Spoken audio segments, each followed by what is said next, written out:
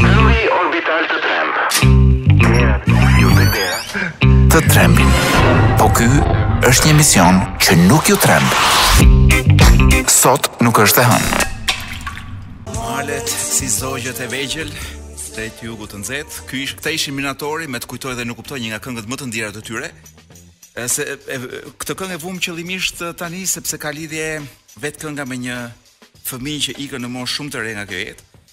Dhe një gjë e tillë ka ndodhur pak a shumë edhe në jo pak a shumë ka ndodhur tamam ë në një vend të Shqipërisë që s'ka rëndësi shumë vendi. Por gjëja që ka rëndësi është pse ka ndodhur kjo, pse ka ndodhur kjo tragjedi. Ë arsyeja duket të ketë qenë TikToku. Dhe prandaj mendoj që është mirë të flasim pak edhe pse është ngjarje e rëndë.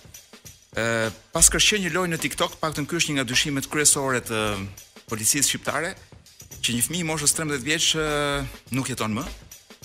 Ë kjo lojë që është sfida e blackoutit, pra sfida e të rënit të fikët, është është absurde në fakt që ka sfida të tilla, po ja që ka.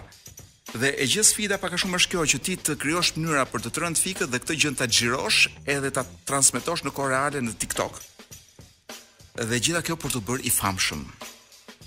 Ë Po lexoj që ka shumë raste të tjera në botë ku janë humbur jetë fëmijësh nga kjo far loje.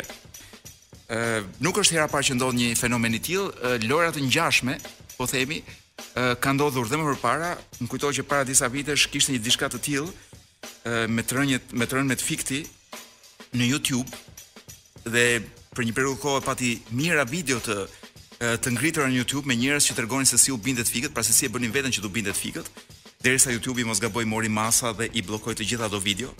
Dhe ja ku vjen tashmë si një sfidë për kalamaj, Dhe këtu problemi nuk është aq shumë i platformës, edhe pse platforma duhet të kenë ca mjete për të për ta rregulluar ë këtë gjë, por një problem është i madh është dhe me prindërit që një fëmije 13 vjeç i japin dhe celular, po edhe lirim për të shkarkuar çdo gjë dhe për të luajtur çfarëdo gjëje pa monitoruar në celular.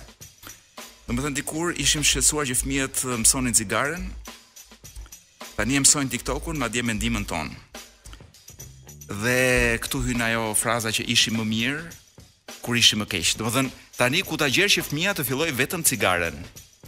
Dhe të mos fillojë uh, TikTokrat me këto lojërat e çuditshme dhe ku di unë drograt sepse edhe po i mbijetoi kësaj faze të jetës, shkon pastaj të shkon në përputhen, do pra është një fëmijë jeta e të cilit nuk ka për të qenë shumë e mirë. me sa gjykoj unë. Kështu që e gjitha kjo për prindërit që kanë dhe fëmijë të vegjël me celular në dorë.